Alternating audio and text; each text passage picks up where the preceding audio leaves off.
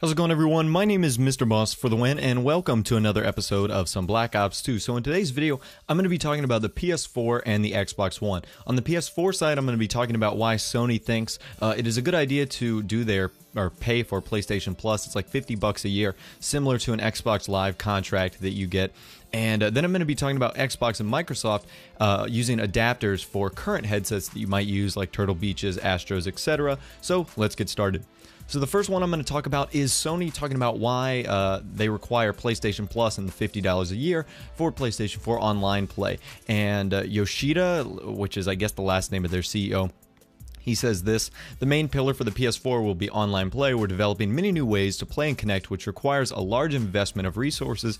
Considering the cost to try to keep up such a free service and consequently lower the quality would be absurd.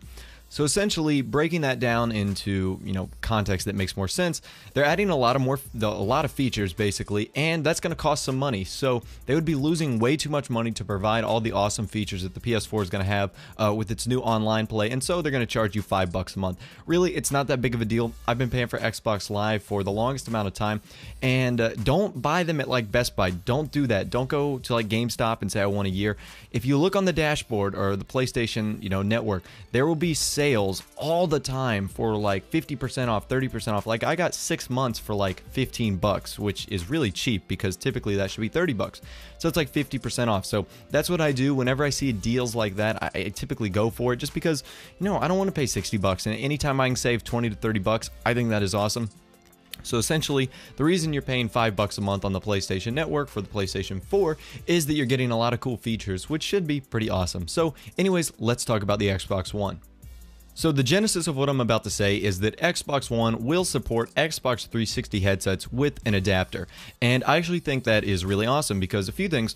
One, I, I just recently purchased an Astro, the 2013 Astro A40s, and uh, they're kind of expensive. They're, the quality is amazing, and I would love for them to carry over. That's just another 250 bucks that I don't want to have to spend.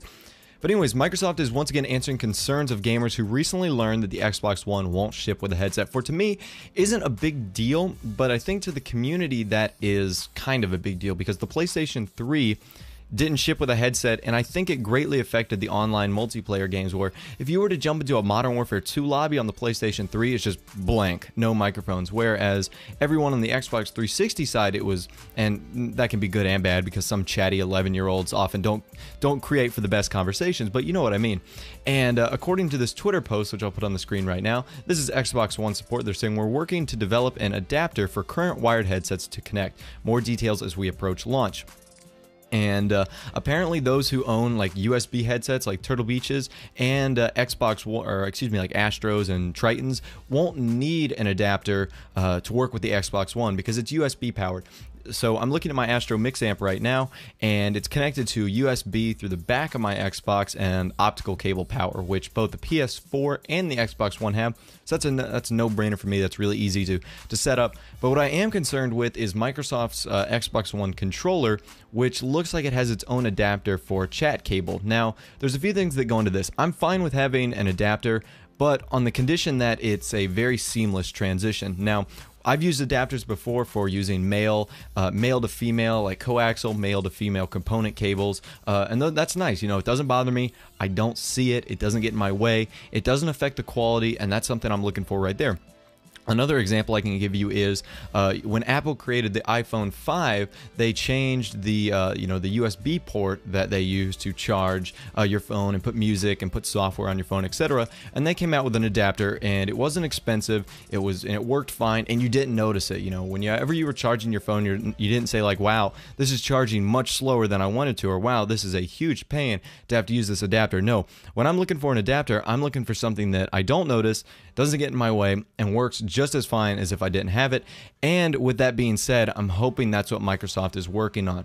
Now, the fact that it doesn't ship with a headset, like I said, doesn't bother me. I, I wouldn't be using that headset out of the box anyways.